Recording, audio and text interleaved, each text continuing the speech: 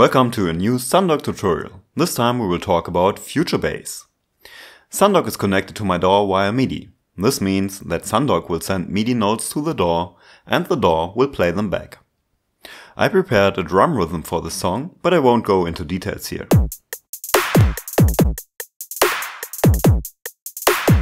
Check out the website to read more about it. You will also find some stuff on sound design there. In this tutorial, we want to focus on the chords and melodies instead. Let's start with the basics. 130 to 160 beats per minute are perfectly fine for future bass. I will use 145 here. A typical length for a song part is 4 bars. And the scale that we want to use is a standard major scale. Some people say that future bass is like happy trap, and the major scale simply sounds happier than the minor scale. Let's start with the chords. I click on chords and there are two important things about chords. First, which chords you play and secondly, how you play them. Let's start with the right type of chords. For future bass, simple triads won't fit.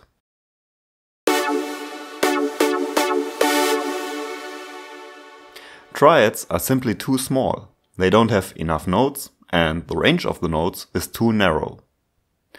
But there are two other chord types that are perfect for us. Major 7 and minor 7. Let's play them back.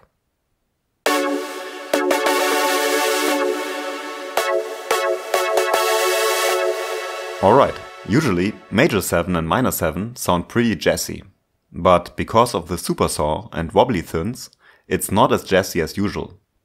As you see, we have a more or less wide range of notes here.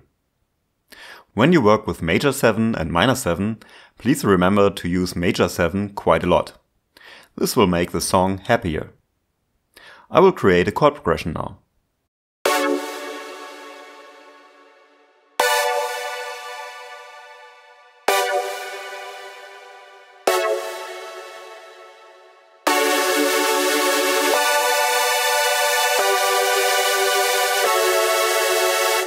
Alright, I like that. I click on Use Chords.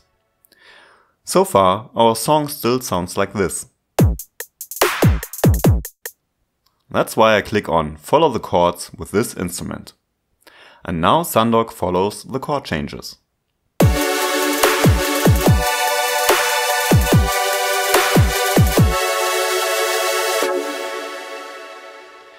But that's not how you play chords in Future Bass.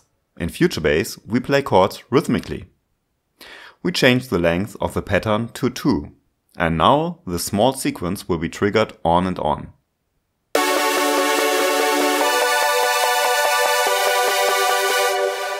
When I click here twice, you can see a hash symbol. The hash symbol will stop the notes.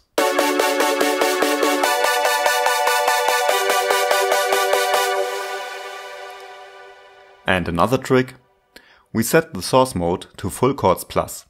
This will double the bass note of the chord one octave below as well.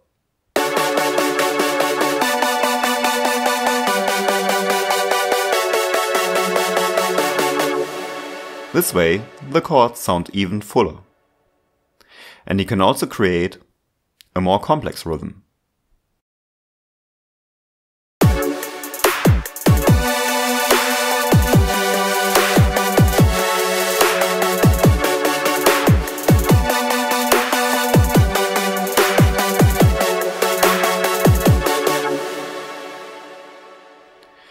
If you want to work with more variation, you can click on Advanced, work with more than one pattern for this instrument.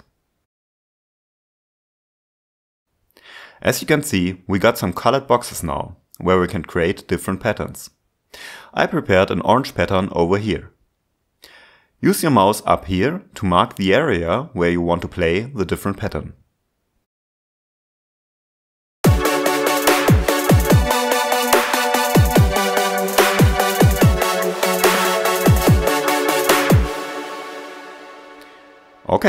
Chords are ready, now let's get to the bass. The bass is always playing on the deepest note of the chord. I click on follow the chord notes with this instrument. Let's listen.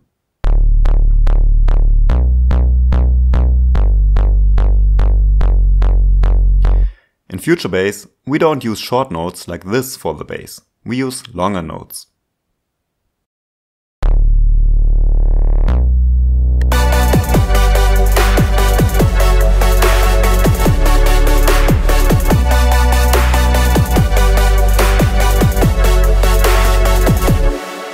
Can also create some variations now.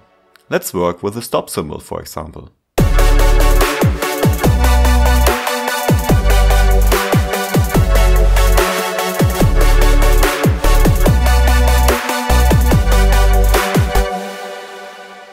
You can also work with longer patterns, but I will leave it like this for now.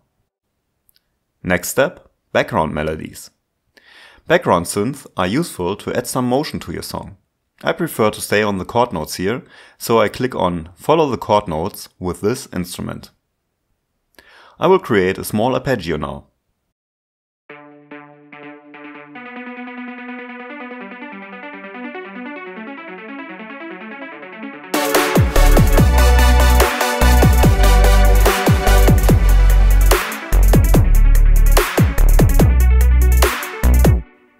You can do this with other sounds as well. But take care that you don't use too many sounds, as your mix might become too busy. Okay, let's get to the melody. I created a whole tutorial on melodies, so you may want to take a look there as well. There are a few things that are typical for Future Bass. I work with scale notes now. We can use all the notes of the major scale here. I click on Fill Editor with Basic Sequence. A typical future bass melody consists of rather short notes. And it's also quite common to jump back and forth between higher and lower notes, like this.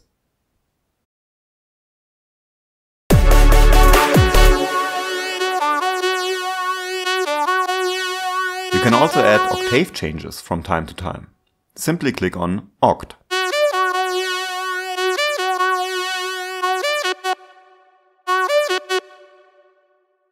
And another common technique, small upward or downward movements, like 0, 1, 2 for example.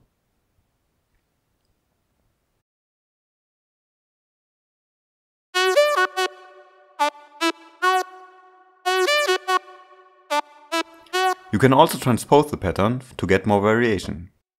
When you move the line here, you also transpose the pattern.